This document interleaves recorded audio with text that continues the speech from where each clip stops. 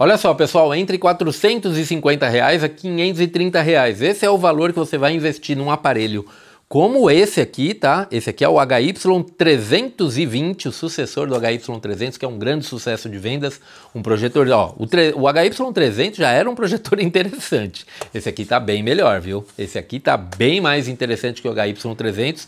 Eu acho que não vale a pena você fazer um upgrade do 300 para esse, tá? Mas se você não tem nenhum dos dois, eu acho que vale a pena esse aparelho aqui. Só que é importantíssimo que vocês prestem bastante atenção no vídeo aqui, porque eu vou dar dicas de ouro para você ter uma vida longa com esse dispositivo aqui e para você fazer um bom uso dele aí, conseguir extrair o máximo possível desse aparelho aqui que eu acho muito interessante. Vamos lá então conhecer o HY320.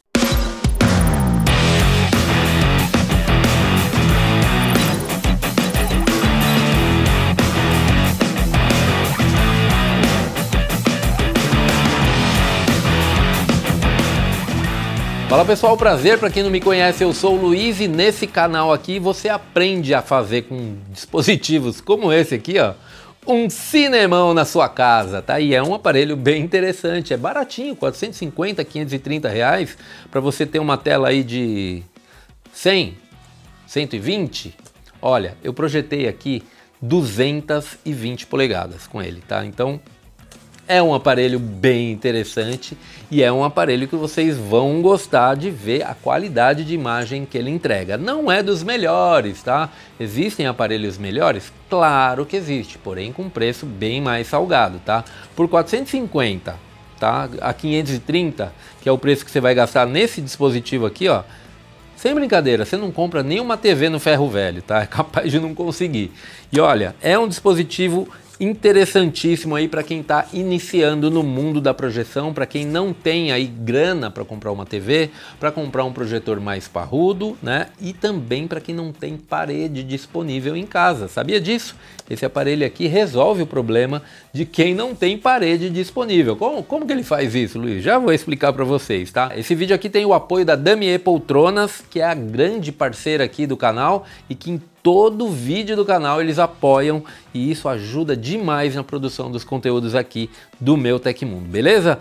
Olha, esse aparelho aqui, cara, impressionante a qualidade de imagem que ele traz, tá? Ele já traz uma resolução Full HD, diferente da versão anterior do HY300, que trazia uma resolução 720p esse aqui tem um brilho de 390 ANSI lumens, de acordo com o fabricante. Cara, dá para fazer cada coisa com isso aqui. Você não tem noção do que eu consegui extrair desse aparelho aqui no estúdio. Mas eu já quero falar para vocês de antemão que por se tratar de um produto de entrada, a gente vai dar algumas dicas excelentes para você manter aí o produto por bastante tempo na sua casa, tá? Esse aqui é um aparelho totalmente de plástico, uma construção plástica de boa qualidade, tá? Ele é todo preto, não tem outra cor dele, só tem esse, pelo menos aqui eu vi, né? Preto com cinza aqui atrás, aqui é a saída de ar, tá? Aqui a gente tem, ó, entrada da energia do aparelho, tá? Uma entrada HDMI aqui, uma saída aqui de áudio e também aqui, ó, uma saída USB, tá bom? E aqui também a gente tem o botão de liga e desliga. Ele vem com um controle remoto super simples, que é este aqui que vocês estão vendo, tá? Mas simples e usual, tá? Aqueles bem simplesinhos. Só não derrube ele porque é capaz de quebrar. E ele vem também, deixa eu colocar ele aqui de lado, ele vem com esse cabo de energia aqui, ó que já é mais interessante que o cabo de energia que veio no meu HY300, que infelizmente não está aqui, então não consigo mostrar os dois lado, lado a lado aqui, tá? Mas ó, padrão brasileiro, tá? Opa, aí ó. E também o plug, ó, o plug em 45 graus, o que é mais interessante para você conseguir fazer isso aqui, ó, tá? Eu vou colocar aqui e ó, angular ele assim, tá vendo? Então, para você angular ele dessa forma aqui, você precisa de um cabo como esse. O HY300 que eu recebi não veio com um cabo desse, então a gente não conseguia virar ele para cima. E por que, que eu viro ele para cima? Porque aí você coloca ele em cima de uma mesa e joga a imagem, sabe onde? No teto da sua casa. Então imagina que você não tem paredes disponíveis. Você não tem nenhuma parede aí própria para você fazer uma projeção, não tem nenhuma tela que desce na frente de um quadro ou de uma TV. Você pode jogar a imagem no teto. No teto, com certeza, você vai ter algum espaço aí, né? Então você joga a imagem no teto e é bem legal assistir filme aí com a imagem no teto, principalmente no quarto, tá? E esse produto aqui é o tipo de produto que eu recomendo para você colocar no quarto sim. Eu não recomendo que você invista num projetor como esse aqui, que é 20 mil reais, né? 17 mil reais. Eu recomendo que você invista num produto mais fraco, tá? E esse aqui é um excelente aparelho para você colocar no seu quarto. Claro que você pode investir sim num aparelho mais parrudo que ele, tá? Mas quer colocar só no quarto? Cara, esse aqui é maravilhoso. Quer levar para praia, quer levar para casa de campo, quer colocar no quarto dos filhos, né? É um aparelho excelente, tá? São 390 ancilumens que dá para você extrair imagens gigantes com ele em ambiente escuro, tá? Em ambiente controlado também dá. E eu testei aqui no estúdio, consegui com ele uma tela gigantesca diretamente na parede, mesmo com a janela aberta aqui por volta de 5 horas da tarde, tá? Ainda estava entrando luz do dia e ainda assim ele me surpreendeu bastante. Uma imagem gigantesca, galera. Isso eu fiquei muito contente porque cada dia que passa eu vejo esses aparelhos aqui crescerem, né? Evoluírem, trazendo aí imagens melhores, resoluções melhores e também um brilho decente aí para que você tenha uma boa experiência na sua casa. Olha, dificilmente uma pessoa que nunca viu um aparelho como esse, não pensa assim, será que ele não está mentindo? Será que isso aí não é truque de câmera? Dificilmente, cara. Todo mundo fala isso para mim. Ah, Luiz, você está falando a verdade? Aquele aparelho tem aquela imagem mesmo? Tem, galera. É uma imagem realmente impressionante, tá? Agora, você imagine, se esse cara aqui entrega uma imagem impressionante, imagina um projetor 4K. O negócio é... Olha, esse mundo da projeção aí veio para ficar. Se você tá achando que projetor não presta, você tá muito enganado, tá? Tem uma dúvida que muitas pessoas me perguntam, né? Mas Luiz, eu prefiro uma TV, né? Pô, o preço de um projetor como esse aqui, por exemplo, eu prefiro investir numa TV. Tem que tomar muito cuidado com essa afirmação, porque TVs grandes em ambientes pequenos não tem nenhum tipo de conforto visual para você assistir. Então, aquela luz muito forte nos seus olhos não dá certo. Vale mais você investir num produto como esse aqui, tá? E ter uma imagem grandona que você vai conseguir assistir a 3 metros de distância do que pegar uma TV, por exemplo, de 80, 92 polegadas e não conseguir assistir meio filme ali, seus olhos vão começar a lacrimejar, tá? Olha só, para você manter um aparelho como esse aqui durante um longo período de tempo aí sem estragar a película polarizadora, que é o grande terror dos projetores de entrada, tá? Esse tipo de projetor aqui, galera, ele não tem uma ótica selada, tá? Então, entra poeira, né? E aí você pode danificar o aparelho. Mas o que mais faz com que o, esse tipo de dispositivo aqui estrague é a película polarizadora, o derretimento da película polarizadora. E como é que eu faço para preservar a película polarizadora do meu aparelho? Primeiro ponto, nunca coloque o aparelho muito próximo da parede, porque a saída de ar quente é aqui na parte traseira, tá? Então tem que tomar muito cuidado também quando você vai angular ele para o teto, tá? Porque aí, ó, você obstrui aqui um pouco a passagem de ar. Se você tiver a possibilidade de ligar um ventilador voltado para ele, é um, a melhor opção, tá? Outro ponto também é não utilizar o produto em ambiente muito quente, tá? Outro ponto é você também não utilizar o produto durante muito tempo ligado, tá? Então, imagine que você tem aí um ambiente que está bem quente. Cara, nem liga, tá? É, é conselho de amigo. Não liga porque você pode realmente danificar o produto. Agora, se o seu ambiente é resfriado, de repente você tem ar condicionado, pode usar o projetor até 3 horas, tá? Projetor de entrada como esses aqui, 3 horas de uso, desliga ele ali, deixa meia horinha para ele dar uma esfriada, dar uma descansada e aí você liga de novo, tá? Não deixa ele 5, 6, 7 horas não ligado porque vai danificar a película polarizadora, beleza? Essa aí é a dica para você preservar esse tipo de produto. Para você conseguir extrair a melhor qualidade de imagem com ele, você precisa aprender a controlar a luz do seu ambiente. Então, sempre utilize o produto numa parede que você tem menos incidência de luz né? Se você tem luzes que dissipam demais ali no seu ambiente, pegam todas as paredes, aí tudo bem, basta você de repente colocar um dimmer, diminuir um pouco a intensidade da luz, né? Se você tem muita luz do dia entrando na sua sala, põe uma cortina ali para filtrar um pouco a entrada de luz e aí você vai conseguir sim boas imagens com ele. Dá para conseguir boas imagens com ele mesmo em ambiente controlado, tá? Em ambiente muito iluminado, claro, você não vai ter imagem nenhuma, vai ficar tudo branco. Agora, se tiver um ambiente controlado, tem a luz do dia entrando ali depois das quatro e meia da tarde, né? Não tá batendo diretamente na parede, vocês viram aí, dá para conseguir imagens excelentes com esse aparelho aqui, imagens gigantes, tá? E quanto menor a imagem, mais forte é. Então, quanto mais próximo da parede, mais forte é. A um metro de distância você ainda consegue focar a imagem bem com ele, tá? Menos que isso ele não vai focar, você vai ter uma imagem desbotada. Então a partir de um metro de distância você consegue uma boa imagem. O interessantíssimo desse aparelho também é que com 2 metros, eu vou colocar 2 metros e 60, tá? Para ter uma, uma distância ali para você separar ele de uma parede. Mas a 2 metros e 60 você já consegue tranquilamente uma imagem de 100 polegadas, não é legal? Então para quem tem sala pequena, esse aparelho aqui é interessante sim, tá? Você consegue uma tela grandona, com uma distância menor do que a grande maioria dos projetores de entrada. Esse aqui eu achei bem interessante, tá?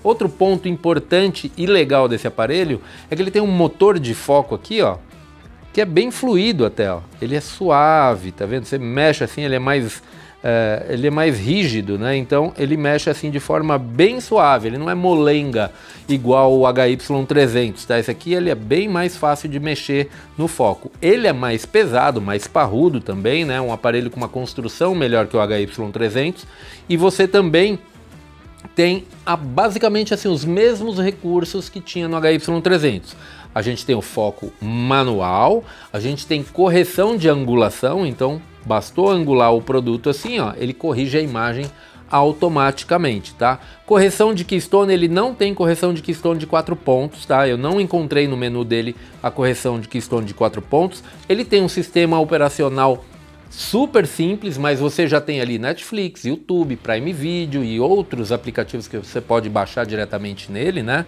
Dá para instalar IPTV, dá para fazer um monte de coisa. Eu não manjo muito dessas coisas, eu nem gosto de fazer isso, tá? Mas você aí que é entusiasta e gosta de instalar os produtos aí, dá para fazer tranquilamente, tá?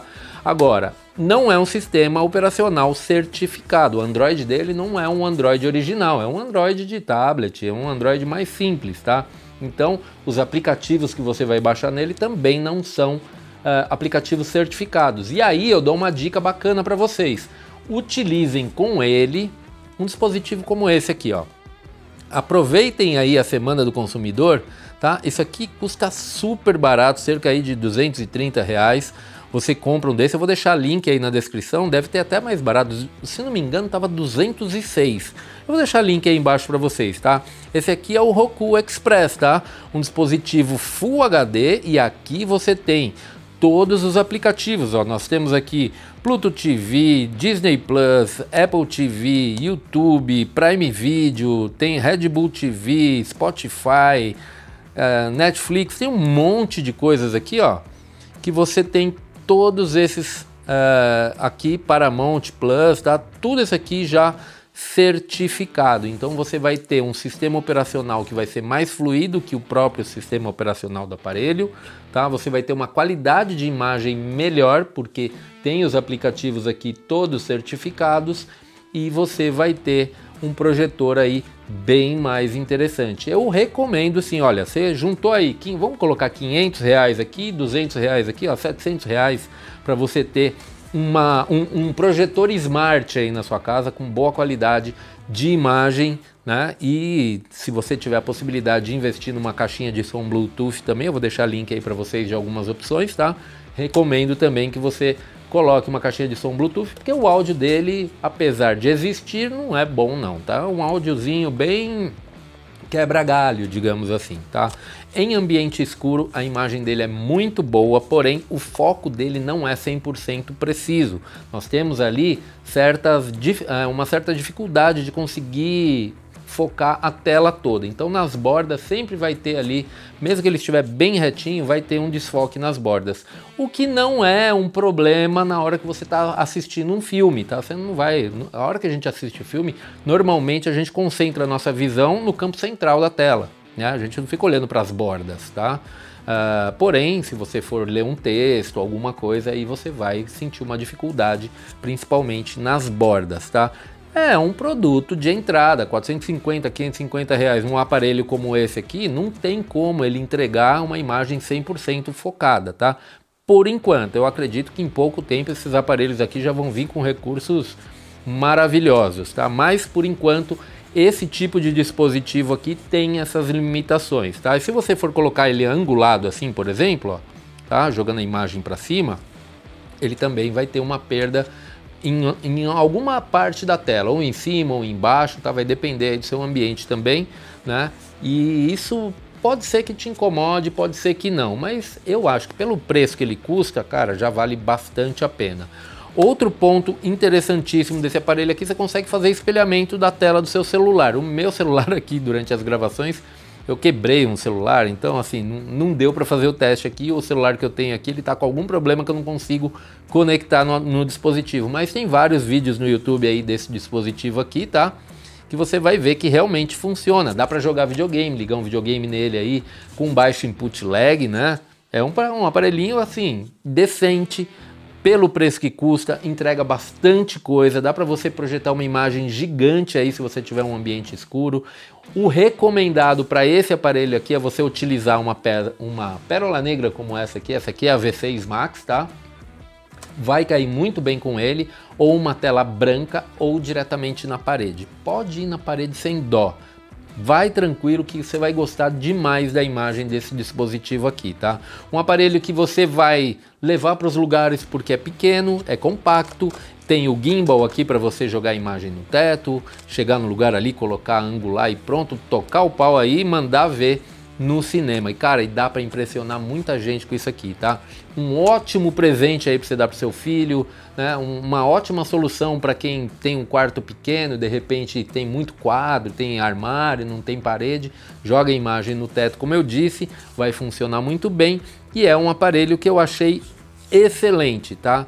Apesar de ser um aparelho de entrada, não ser um aparelho mais parrudo, né? ele sim entrega uma qualidade de imagem bem legal e bem mais interessante que o HY300. A gente tem também aqui, galera, um ponto negativo que eu não gostei nesse dispositivo, que é esse gimbal aqui, tá? Poderia ser igual o gimbal do N1 Mini, que não tem essa catraca aqui, tá vendo? Essa catraquinha aqui atrapalha, então quando você coloca o projetor reto assim, ele joga a imagem centralmente, né, de forma central. Se a sua tela tiver um pouquinho mais para cima e você quiser angular ele assim um pouquinho, pode ser que ele passe do limite e a imagem fique mais para cima do que deveria. Você não consegue fazer um ajuste fino. No N1 Mini, né? Você tem um gimbal que não tem essa catraca, então ele é bem mais fluido, você consegue angular ele do jeito que quiser. Isso aí poderia ser algo interessante nesse aparelho aqui, tá? Outra coisa que eu acho que deveria ter nele, a saída de ar não deveria ser aqui na parte traseira, deveria ser aqui, ó tá? Nessa região aqui. Se fosse aqui seria mais interessante, tá? Porque aí você conseguiria angular ele aqui e a, o ar ia sair aqui por essa lateral, tá? E para finalizar, um outro ponto negativo desse aparelho aqui é o ruído do sistema de arrefecimento dele, que chega ali nos 40 e poucos decibéis aí. Vocês estão vendo na imagem do que eu testei aqui, ele faz um pouquinho de ruído, mas se você conectar uma caixa de som Bluetooth nele, como eu disse, ou se estiver usando o áudio dele mesmo, já vai cobrir o ruído ali, você não vai se incomodar tanto, tá? Um aparelho aí que eu acho que vai fazer a sua cabeça, vai fazer a sua alegria, um aparelho barato para quem quer iniciar no mundo da projeção, para quem quer jogar a imagem aí em qualquer lugar e ter uma tela gigante, porque dá sim, um aparelho que eu gostei bastante. É isso aí, galera. Espero que vocês tenham gostado do vídeo. Não se esqueçam de aproveitar as promoções aí da Semana do Consumidor. Os links dos produtos que eu mencionei aqui no vídeo vão estar aí na descrição. Não se esqueça de deixar seu like, de ativar o sininho de notificações aí. Se não for inscrito, já se inscreve também. E de recomendar esse vídeo para sua rede de amigos para eles virem fazer parte com a gente desse mundo muito legal que é o mundo da projeção. E vocês viram aí no vídeo que eu dei spoiler aqui, né? Vai ter novidade. Vocês já viram que tem um ambiente novo aqui no estúdio. Agora esse ambiente novo vai ficar incrível. Quer acompanhar? Segue a gente lá no Instagram, meutecmundo e também segue a gente lá no Telegram, beleza? É isso, galera. Espero que tenham gostado do vídeo. Até a próxima. Tchau, tchau.